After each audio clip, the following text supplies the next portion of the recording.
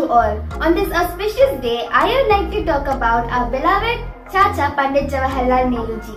Success often comes to those who dare to act and seldom goes to those who are ever afraid of the consequences, said Pandit Jawaharlal Nehru. Chacha Nehru was a great freedom fighter who fought for the freedom of our country and was also the first Prime Minister of India.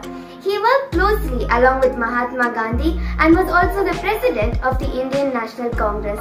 His contributions to the Indian freedom struggle is unparalleled and unique. Being from a rich family, he could have easily chosen an easy life but he chose to fight for the freedom of our country. He had no idea that time whether he'd become a big name or end up in prison, but he still did that because of his love for the country.